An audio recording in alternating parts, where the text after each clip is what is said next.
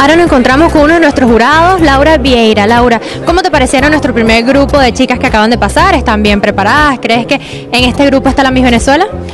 Mm, bueno, no, no, no, tengo, no puedo ser tan temeraria como para afirmar que en este grupo está. Lo que sí, y que no deja de sorprenderme, yo tengo 17 años trabajando en Venevisión, 17 años conectadísima con el Miss Venezuela, por supuesto desde afuera, ¿no?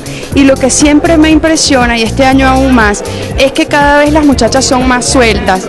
Lo estábamos diciendo, ellas están más conversadoras que nosotros preguntando.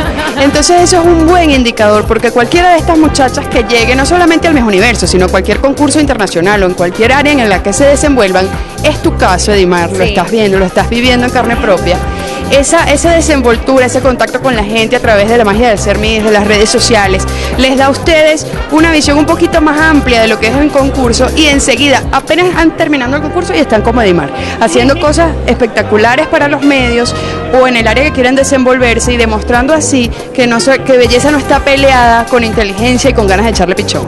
Es así, así que uno de los atributos más importantes de una Miss es su actitud, cómo se desenvuelve, cómo habla y cómo se conecta con esas personas, ¿no?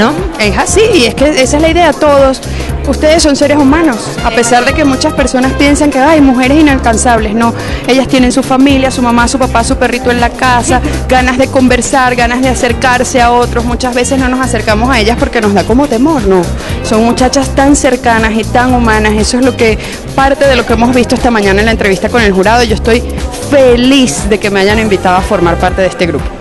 Un saludo que le quieras mandar a todos esos seguidores que nos ven a través de nuestras redes sociales. Bueno, yo siempre estoy pendientísima de misvenezuela.com, sobre todo este año que me tocó ser jurado para revisar las fotos de las candidatas, sus biografías.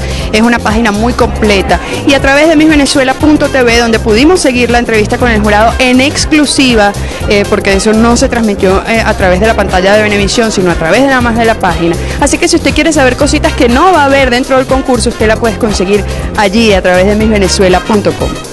Así es, para nosotros es un orgullo tenerte a ti como jurado de este año y bueno, ya hizo mi trabajo. Chao.